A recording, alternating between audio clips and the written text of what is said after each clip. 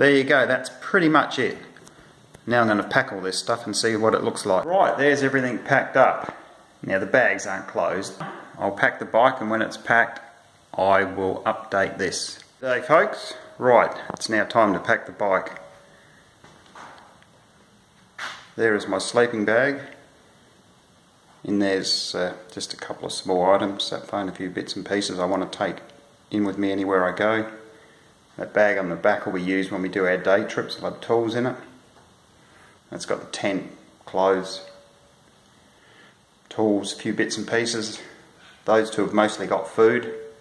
I've got a huge amount of food, but um, we're staying in one spot, so I'm going to take most of it with me. Snacks, bits and pieces, some water. And so, there's the bike all packed up. Rigg bags down there. This other little bag, sleeping bag.